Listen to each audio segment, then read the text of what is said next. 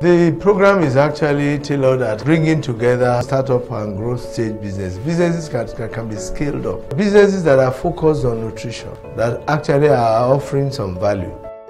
I'm here to learn, unlearn, to relearn, especially to have standardization in my products. It's learning that we're after and again to also get some network, some connections that could help in market penetration and also market expansion. We're trying to scale our business such that it is more available at the bottom of the pyramid. We want it to be more available for the masses to buy.